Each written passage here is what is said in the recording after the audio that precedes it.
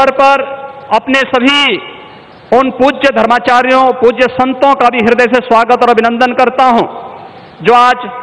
उत्तर प्रदेश की इस धरती पर इस संपूर्ण कार्यक्रम में साक्षी बन रहे हैं। मैं उन सभी पूज्य संतों और महानुभावों का भी हृदय से स्वागत और अभिनंदन करता हूँ, जिनकी प्रत्यक्ष अनुभूति हम लोग यहाँ पर कर तो रहे हैं, लेकिन वे प्रत्यक्ष रूप से यहाँ पर इस कार्यक्रम में सहभागी नहीं बन पा रहे हैं। क्योंकि वैश्विक महामारी कोरोना के खिलाफ जो लड़ाई देश की चल रही है, उस लड़ाई में हम सबने उस प्रोटोकॉल का पालन करने के लिए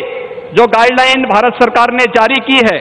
उसके तहत ही सीमित संख्या में अतिथियों का आमंत्रण हो सकता था और उसका पालन करते हुए भी हमें इस ऐतिहासिक तिथि को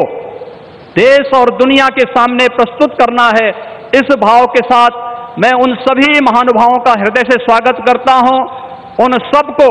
किसी न किसी रूप में हम आने वाले कार्यक्रमों में सहभागी बनाने का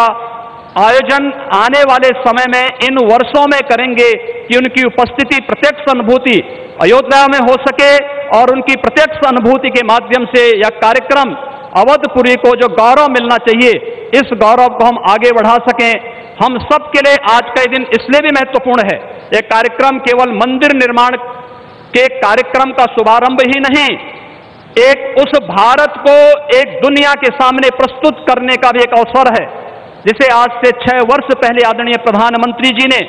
राम राज्य की उस अवधारणा को चरितार्थ करने के लिए आगे बढ़ाया था, जिसमें किसी के साथ न जाति के नाम पर, न क्षेत्र के नाम पर, न भाषा के नाम पर कोई भेदभाव नहीं और सबका साथ, सबके विकास की भावना को चरितार्थ करते हुए, जिस कार्यक्रम को छह वर्ष पहले आगे बढ़ाया था, भगवान राम का यह भव्य और दिव्य मंदिर,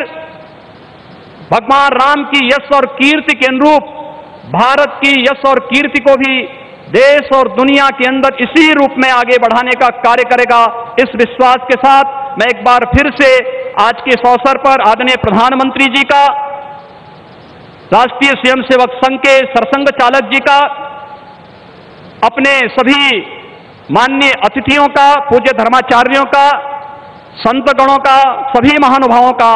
उत्तर प्रदेश की इस धरती पर, अवधपुरी की इस धरती पर हृदय से अभिनंदन करता हूँ, स्वागत करता हूँ। जय जय श्री राम।